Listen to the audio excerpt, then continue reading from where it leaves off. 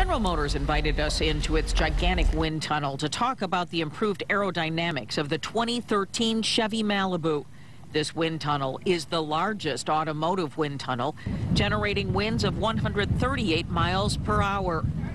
With rising corporate average fuel economy requirements on the horizon, aerodynamics are a key component of design. Fuel economy is so important right now, um, not only just for the environmental aspects, but for the average, you know, car driver's pocketbook.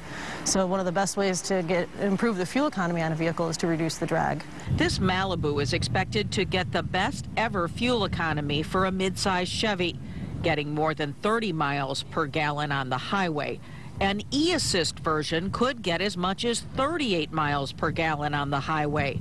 The testing led to rounder corners and softer angles. A lot of the things that, that, are that are on the new Malibu are things that are normally on race cars and higher end cars, things like the underbody panels, the active shutters that roll that, that roll down into mid-size cars. So we're going to take the learnings here and it really becomes, you know, um, the entry point for aerodynamics of, a- of a mid-size car. We're trying to move the Malibu into more of the performance side of our uh, portfolio aesthetically, and all those cars have you know the, the high attitude in the rear for uh, stability and for, for high-speed performance and for fuel efficiency. Aerodynamics have become so important that every vehicle General Motors makes around the world will go through testing like this to see how much they can improve the fuel economy before it hits the road.